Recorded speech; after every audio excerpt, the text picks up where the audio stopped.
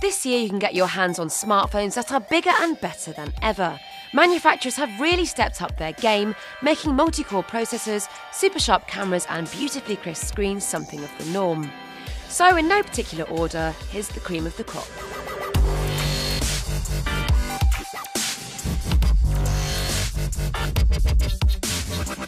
The eagerly awaited S3 brings with it Smart Stay, pop up play, S Voice, and a bucket load of new camera features like Burst Mode.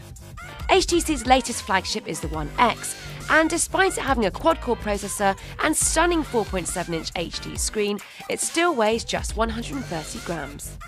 Not technically released in 2012, the iPhone 4S still holds its own against newer handsets. The 8 megapixel iSight camera gives top quality snaps, and you get the Siri voice assistant.